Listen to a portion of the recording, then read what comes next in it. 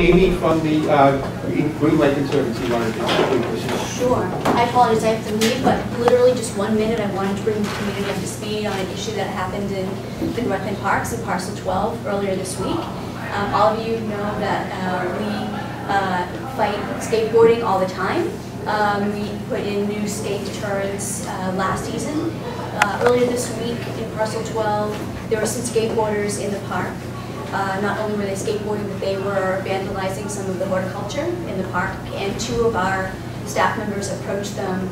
Um, they became verbally uh, abusive and ended up one of our staff persons was shoved to the process trying to escort them out of the park. So we wanted to make sure you were aware of that. And if you, you see any of this activity, please make sure that you let us know. You grab a staff member. Um, and if it looks like it is an issue of great concern, the police have instructed us to call 911 so they can record all these incidents and track a history of these incidents. Um, we are putting in more skate deterrents in parcel 12. And if you're facing, um, at the pergola facing Haymarket, it's in the lower left-hand section by the stone dust path um, and that granite curving. Um, and if you remember, there's a tree that no longer is there because of damage from skateboarders in that section of the park. So we are working with um, Sergeant Lima and Superintendent Evans to make sure that we deal with this issue, but wanted to make sure we brought the neighborhood up to speed.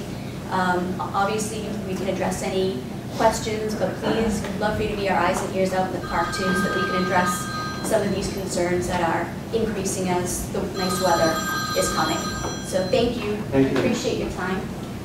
Right, Right here, And I can take any, any questions, or, you know, obviously we're available outside, you know, grab us a beer. Is there a Greenway number people can call besides the police? Um, call me, uh, 617-603-7738, and I can certainly make sure any issues you have, um, get to the right staff person. And you can email us at info at info@rosekennedygreenway.org as well. Email us any issues or concerns, send us photos of things you may be observing in the park that you want us to address. That helps us greatly. No, you can call 911. If it's, if it's an issue that's of great concern, if you see some destruction of property, or if you're having a hard time, you know, with some, di- you know, difficult people in the parks, that's what police have instructed us to do. Great, thank you very much.